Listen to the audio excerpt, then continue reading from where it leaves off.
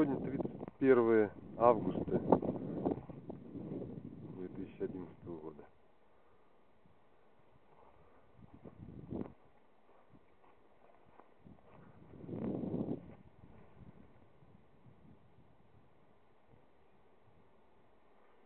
Цветет гречка, подсолнух, доцветает.